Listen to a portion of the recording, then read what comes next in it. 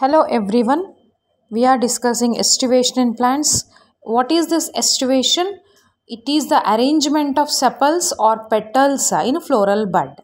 So there are four whorls in the plants and uh, their arrangement of sepals and petals we are learning here. This estivation is of four types. So we can see here. So valvate estivation, right? So four types are there. Valvate, twisted, imbricate and the last one that is vexillary estivation. So let us see one by one first of all what are these. So if you take a valvate estivation you can see the petals here. So which are arranged in a one proper order and they are not overlapping on one another.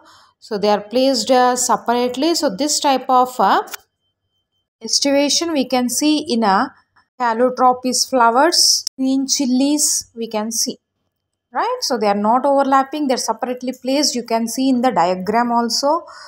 Uh, so here there is a gap between the petals. Or sepals whatever there will be the gap. If the gap is there we are calling them as valve type of estivation next coming to the twister. Right?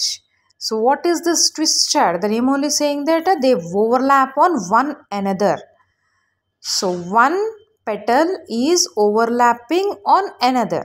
One end is uh, outside and one end is outside. You can see in the uh, diagram. Right you can see here in the diagram. So the petals or sepals whatever. So how they are arranged? Uh, so one end is overlapping on the other petal or sepal end. So this type of situation like this if it is present uh, we are calling it as twister. So, plants we can see twisted, lady's fingers, uh, hibiscus plants we can see this twister type of estivation. Next coming to the imbricate estivation. What does this imbricate means? Uh, there is no proper order. You can see one petal is completely inside, one petal is completely outside and one is overlapping in the other and other is not completely overlapping so like this, uh, without any proper order, if the petals are arranged, we are calling it as imbricate. So which plant show this type of estivation? Gulmohar flowers. Gulmohar flowers, uh, they will show the imbricate estivation. Coming to the last type that is vexillary type of estivation.